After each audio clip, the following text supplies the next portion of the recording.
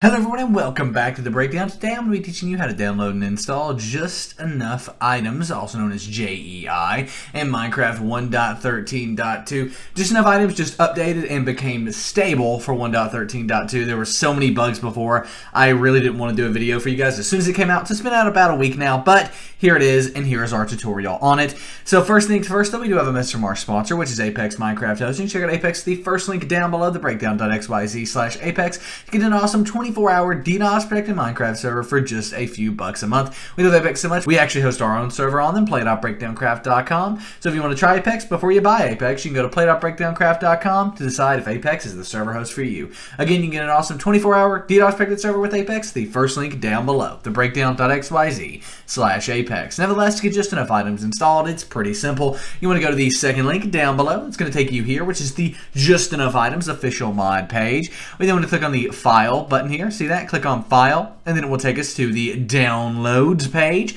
where you want to make sure you're downloading the 1.13.2 version. See that game version 1.13.2 there? Make sure that is the one you are downloading. If you just click Download latest file, it will not work. You need to make sure you click on File, and then come here and download the 1.13.2 version. Once you find 1.13.2, scroll over until you see this little gray download button. Click on that, and it will go ahead and open up this. Now, if you're on Google Chrome, it'll open up in the bottom left, right? It'll just be a pop-up at the bottom of your screen. However, on Mozilla Firefox, it's in the center of our screen. Either way, you will need to save or keep the file. If it starts with JEI and ends in .jar, which ours does, we can save the file in Mozilla Firefox. If you're on Google Chrome, you'll click Keep in the bottom left. So we can go ahead and save the file. And we aren't done downloading just yet. We still need to download Forge, which you can check out at the third link down below. If you click that, it will take you here. And this is our entire tutorial on installing Forge. However, I'm going to be showing you how to install it in this video. So just click on this green download button here. Click on that and it will take us off to Forge's official website to download Forge.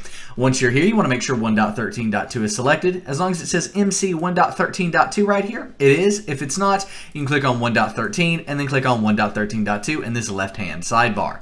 Nevertheless, once you've got 1.13.2 selected, just click on the installer here, and it will take us off to AdFocus, where you don't want to click anything. Stop, don't click anything on this page, but wait. Up in the top right, you have to wait like 5 to 7 seconds, and up here in the top right, you will see a skip button.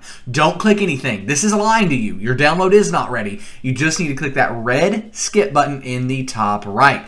Once you click on that, you'll get another pop-up like this, where it should start with Forge and end with .jar. Right? As we can see, starts with Forge, ends in .jar. If you're on Google Chrome, it'll be in the bottom left, and as long as the file starts with Forge and ends with .jar, you can go ahead and keep the file on Google Chrome in the bottom left and click Save File on Mozilla Firefox here. Now if we go ahead and minimize our browser, here on my desktop I have two files. I have a just enough items and I have Forge. If these aren't on your desktop, don't freak out. Click on the little Windows icon in the top left for me. It's in the bottom left of your screen. That little Windows icon there, click on that and then type in downloads, right like so. You will then have a downloads folder here. Click on that and you'll find Forge and just enough items in your downloads folder. Drag them to your desktop just for ease of use.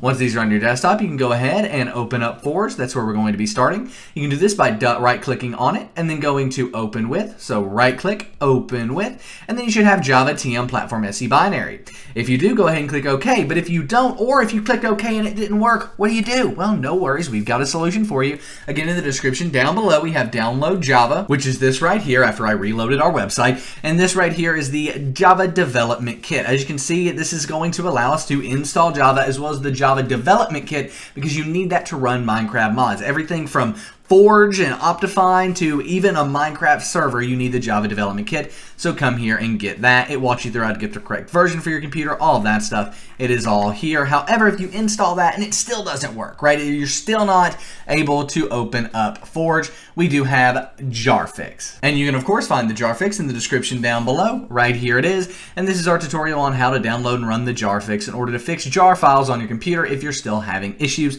after you've downloaded the Java JDK. But nevertheless, we can go ahead and again right-click on Forge, go to Open With, see that? Click on Open With there, and then we want to click Java TM Platform SE Binary and click OK. Now to go ahead and open up this Forge installer here, we want to click on Install Client and click OK. Now Forge will go ahead and install, and the only reason it would fail is if you've not played vanilla Minecraft 1.13.2. What that means is Minecraft 1.13.2 with no mods, no anything, just Minecraft If you haven't done that, go do that, come back, and Forge will successfully install. But as you can see, successfully installed client profile for Forge. Awesome. We can go ahead and click OK. Now we need to go ahead and install just enough items. To do this, we're going to click on that little Windows icon. Again, it's in the top left for me, but it's in the bottom left of your screen. That little Windows icon in the bottom left. Click on that, and then in here you want to type in run, R-U-N, exactly like that. Then you should have this run desktop app. Go ahead and click on that run desktop app, and in it you want to type percent sign A-P-P-D-A-T-A percent sign, percent app data percent, exactly like that, and then go ahead and click OK. Now we'll open up our roaming folder here we want to go into the .minecraft folder, and in here you should have a mods folder. But Nick, I don't have a mods folder. What do I do? Well, don't freak out. It's okay. Just right click, create a new folder, title that folder mods, M-O-D-S, all lowercase, exactly like that, and then open up your newly created mods folder. Now you want to take the just enough items, or JEI, file you downloaded and drag that into your mods folder here, right like so. And now we need to open up the Minecraft launcher. But when you're in the Minecraft launcher, don't go slamming that play button right away. You need to make sure you're on the correct profile. To do that, click the little green arrow next to the play button here, and then select Forge. You should have a Forge profile. If you don't, no worries. Just go ahead and click the three lines at the top of the Minecraft launcher up here. See these three lines? Click on that, and then click on Launch Options. Then, once you're here, we can add a new profile. To do this, just click Add New right here, and then you can name this whatever you want. I'm going to name it play.breakdowncraft.com.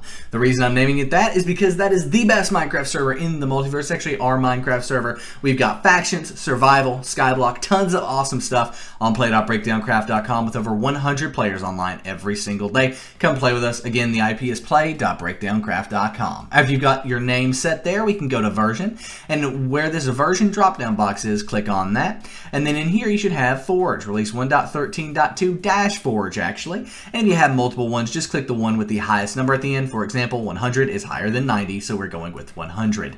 Now I'm going to change my resolution. You don't need to change your resolution. I'm just doing it so you can see once we're in game. Then go ahead and click Save here. Come back over to the News tab, click the little green arrow next to the Play button, click on the play.breakdowncraft.com profile.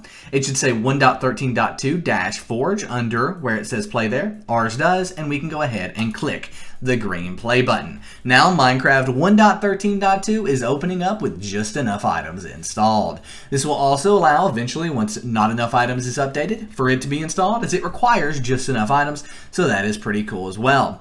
Nevertheless once we're on the Minecraft main menu I will be able to show you that not only is just enough items in the mods tab, if we click on the mods tab here we'll be able to see just enough items but we can also go over to single player and I'm just going to launch into a new single player world real quick and just show you that in fact this is up and running. So let's go ahead, I'll create this new world and I'll see you once I'm in game. So here we are in game and still got some chunks loading as we can see around me here. But once we're in game we can hit E and here is not enough items. We can click on everything see their crafting recipes how we can make them.